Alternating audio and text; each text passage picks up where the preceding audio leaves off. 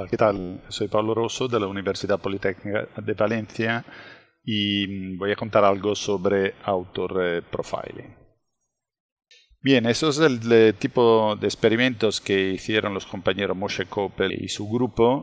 Tenían unos 20.000 posts de blogs dividido en estas tres categorías eh, se han considerado un salto de edad de 5 años entre las categorías porque la hipótesis de base es eh, que el estilo de escritura cambia a lo largo de los años, pero lógicamente hay que dejar unos años entre las categorías para permitir con una cierta accuracy determinar eh, el grado, de edad correcta.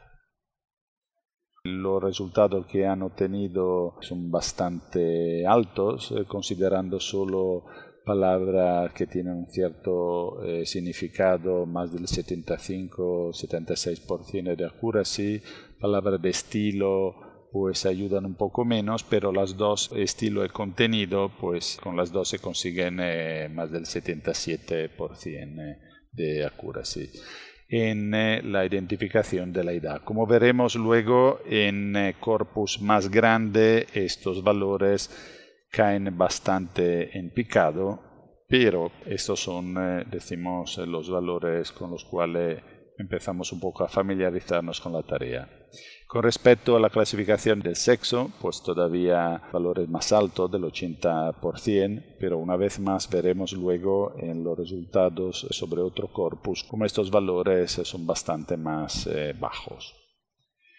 Lo que hicieron eh, interesante Moshe Koppel y su grupo eh, ha sido ver un poco cuáles son las palabras que se han utilizado más, con más frecuencia en las diferentes categorías. Entonces, los adolescentes de que se preocupan, eh, bueno, hablan que hacen eh, sus deberes, matemática, que están aburridos, que, que, se vuelven locos. Como veis, eh, la frecuencia de estas palabras disminuye en las otras dos categorías. Con respecto a las preocupaciones de los veinteañeros, pues viven en un apartamento, estudian, van al college y pues se van al bar eh, eh, a beber cerveza y en la categoría en las cuales muchos de nosotros caemos o ya no caemos, pues las preocupaciones son diferentes. Eh, se habla de la pareja, de, los impuestos, de, de, los hijos, como no. Entonces, como veis, las frecuencias de utilizo de las palabras han sido bastante diferentes.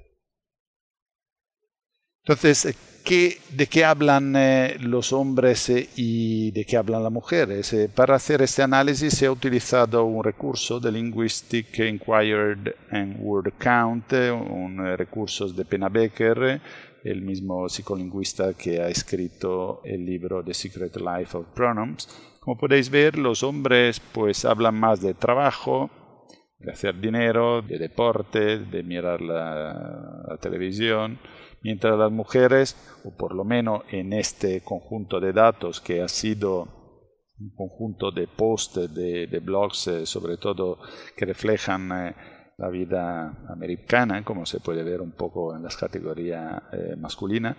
Las mujeres hablan más de sexo, sexo entendido como, como categoría de, de love, de amor, de familia, de comer, de amigos, de dormir, a lo mejor de, falta de sueño, cuando los niños se despiertan por la noche y llaman mamá.